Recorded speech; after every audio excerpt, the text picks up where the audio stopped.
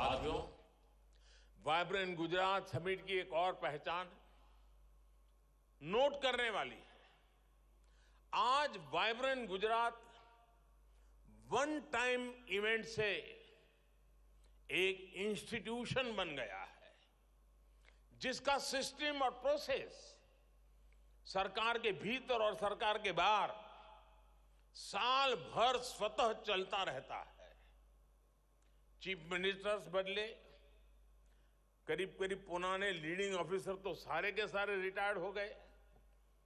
जो 2001 में पहली बार सर गुजरात आए होंगे ऐसे अफसर आज गुजरात संभाल रहे हैं, सीनियर हो गए हैं। समय बदला, लेकिन एक चीज़ नहीं बदली। हर बार वाइब्रेंट गुजरात सफलता की नई ऊंचाई तक पहुँचता रहा। ऐसा इसलिए हुआ क्योंकि हमने प्रोसेस को संस्थागत बना दिया। इस सफलता की जो कंसिस्टेंसी है उसके लिए यही ताकत इसका आधार है। और इसके लिए इंफ्रास्ट्रक्चर पर भी वैसे ही बल दिया। कहाँ कभी टागोर हॉल में कार्यक्रम होता था फिर कभी यहाँ साइंस सिटी में ही तंबू लगा करके कार्यक्रम किया था और आज महात्मा मंदिर बन गया।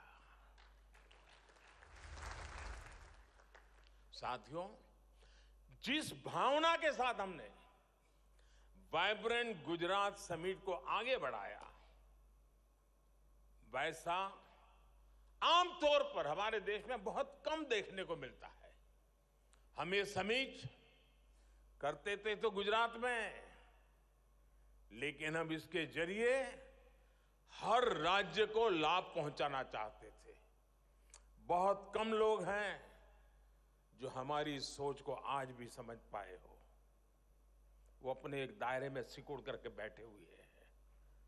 एक गुजरात का मुख्यमंत्री उस समय देश के मुख्यमंत्रियों को आग्रह करता था कि समिट हो रही है, आप भी अपना झंडा गाड़िए, आप भी अपना स्टॉल लगाइए, आप भी सेमिनार कीजिए।